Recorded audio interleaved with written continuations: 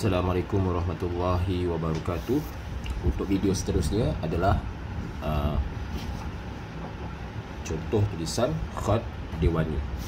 Bagi soalan khat IKK 2023 Untuk lelaki dan perempuan.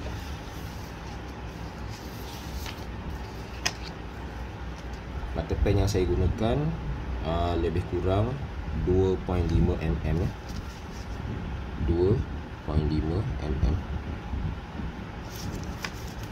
tapi anda bebas menggunakan apa-apa saiz yang bersesuaian dengan uh, kelas lah.